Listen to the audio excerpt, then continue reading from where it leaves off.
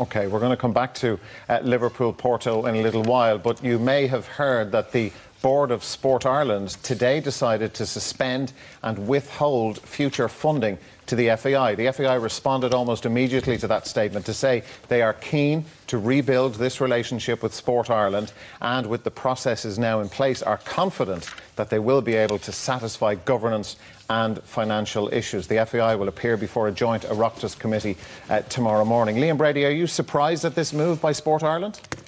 No, not really. If they're in contravention of, of, of, the regulations and they haven't let them know uh, that they were in serious financial problems, uh, they've broken their regulations. So uh, I think it's par for the course that the Sport Ireland and the way they've been treated by the FAI, getting letters late, not getting responses to their questions, uh, I, I, think they've got every right to say, right, we're going to withhold uh, uh, this money until we get till we get serious answers to serious questions. And that's probably going to come out tomorrow, so I'm not surprised at all.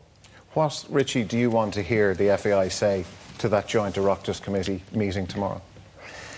As Liam said, to give very clear, like speak with absolute clarity, um, answering all the questions that have come up over the last few weeks. I think they should be very, very embarrassed tonight that they've been sanctioned by Sport Ireland in this way, that because of how they've gone about doing their business, that now funding is being denied.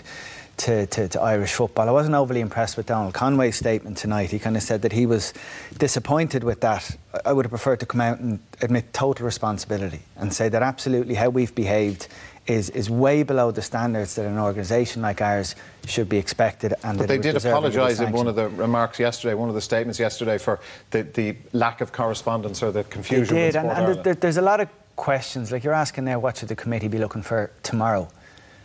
We've had, I don't know how many statements we've had from the FAI, and we've had some statements of support from various people in Irish football, but none of them have provided any clarity or information, particularly around the 100 grand issue.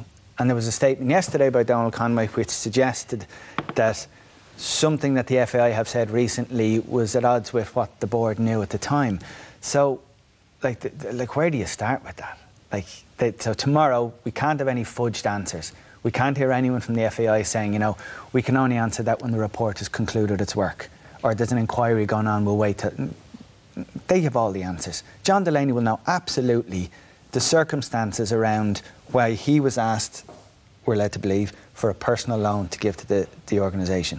John Delaney doesn't need an inquiry to feed him the information to be able to answer that question. But there are various investigations and processes, Donal mm. Conway says, taking place at the moment, and they will report back to the FAI mm. with. But I, I hope, I hope the committee won't take that as a satisfactory answer to those questions.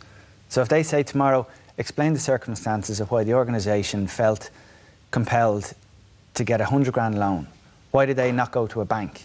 Mm. Why did they go to the CEO? Like, is this the first time the CEO has been asked to give a personal loan? Was it a one off? Those questions can be answered. Like, John Delaney or the president or any of the other directors there can't get away with saying, listen, we're going to wait to see what the report says. Well, I'm sure that's that the committee members will ask those well, that's their job. Tomorrow. That's yeah. their job. So they need to keep asking the questions until the answers are, are, are given with absolute clarity so that by the end of the the, the, the, the meeting or the hearing that whatever amount of hours it takes, there's no, there's no grey areas, that we can join all the dots. Kevin, what is your take on where we are this evening? Yeah, I'm, I'm like the lads, like, and I get on over the years very well with John. I've had a good relationship as an international player. I would have met up with him a lot and spoke to him a lot. So from that side of it, I got on very well with him. But you know, it's come to a stage you just want I think a full and frank, like like the two lads said, a full and frank answer tomorrow. You don't want to bat it away again and wait for it's it's the FAI's own independent report. If it's all fine and everything, just tell us tell us tomorrow and let's move on. Um, if that's the case, if it is all straightforward, you know, I don't know why we, we, we can't find out that information. Why do we have to wait on another independent report? We seem to have a lot of independent reports over the years. Mm. Um, like you want to be talking here, you want to be asking me about the Ireland under 17s in the Euros in the summer, the Ireland under 19s. Instead, we're talking about this for the last number of weeks when we should be getting on to success stories about Irish soccer. And this is this sort of thing is just getting in the way, and we need a resolution. People that I speak to at home, in Wexford or whatever, just no, wouldn't be you know paying a whole lot of attention to, to football day in day out, are talking about this, and they just want a straightforward straightforward answer. Tomorrow is, the, is the time to do that. And we should say as well, you mentioned the 17s, you're part of the coaching team with the 17s on a voluntary basis. They're in the European Championships, which are being uh, played here. Um, Liam, I just want to come back to you because recently in the Examiner you wrote, I think after the Georgia and Gibraltar games, that you said that you would rather reform or change in the FAI than the Republic of Ireland qualify for Euro 2020.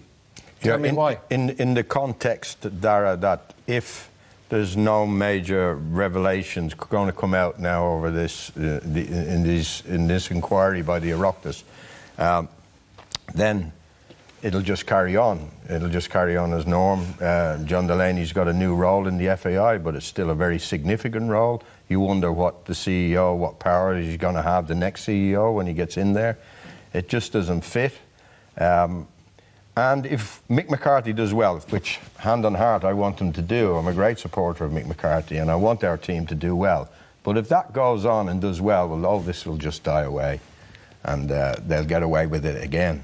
And I don't think they should. You know, my beef uh, over the last few years has been the lack of development of our young players in Ireland and especially in the hotbeds of Dublin and Cork. We are just not producing any players. And the FAI are responsible for that. And John Delaney, as CEO, he's responsible for that. And I also said that people like Brian Kerr, who have got um, enormous expertise in this area, have just been ignored. And this is wrong. Now, I don't know too much about the financial situation of the FAI, but the, the development of our young players is why I think there should be change. On top of that, are the finances in, in, in good shape? Well, we'll just have to wait and see. we're gonna find that's, out. Mm. That's what I'm saying. In that context, Darragh, that if, if we get results and if we qualify, nothing will change. You see, I suppose, look, on the other side, the FAI will point to the Emerging Talent Programme, the reorganisation of the underage But it leagues. hasn't happened, Darragh. But, well, I the under-19s are in the elite We've European had Championship final. We've had Trapattoni in the job. We've had uh, uh, uh, Martin O'Neill in the job.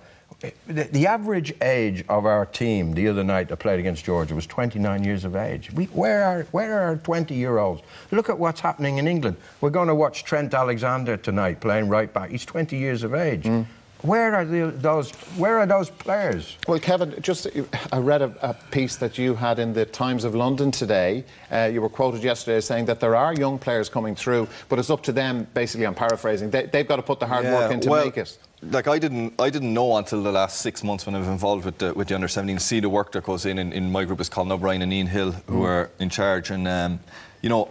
It gives me hope for the future to see those under 17s. They're in the Euros, I said in the summer. The under 19s, I don't know that group as well, but they've qualified for the European Championships. I do see I suppose green shoots. I know it's a term that's used a lot, but I do see it. I see under 13, under 15, under 17. The I do see progress being made. I see the facilities are improving. Now it's nothing got to do with what's going on tomorrow or whatever. But I'm All just I would talking say from to a- you, Kevin, I don't see any 19-year-olds playing in the Premiership who are Irish, and, and Mick McCarthy can pick. That's all.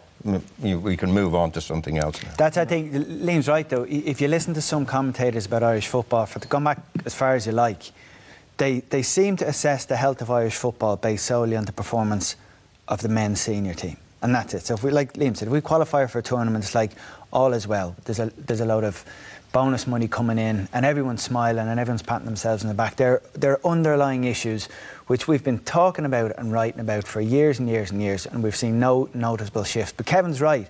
Let's not get sidetracked with a mm. discussion here about youth football and underage football. They're all relevant issues and they're all concerns. But t- tomorrow is about a different issue. It's about getting very, very clear answers on the governance within the FAI and what did the board know and when did they know it and how, like how the, the statement yesterday from Donal Conway.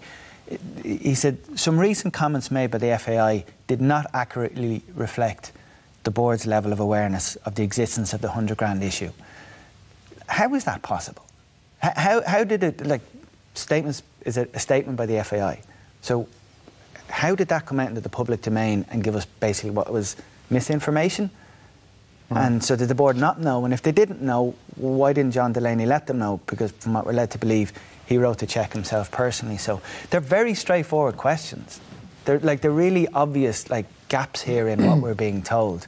despite the umpteen statements that have come out, we're still in the dark about the stuff that's important. So, however many hours it takes tomorrow, or however many vague answers they get, or many different routes they have to go at the delegation tomorrow to get the information they need, they should keep at it and keep them there all night if needs be. I think you said it in straightforward questions, straightforward answers. That's Mm. Yeah. all anyone wants tomorrow. And if you get that, you know, so be it. They said that, like the statement today, we seek to fully address all concerns in a determined and transparent manner.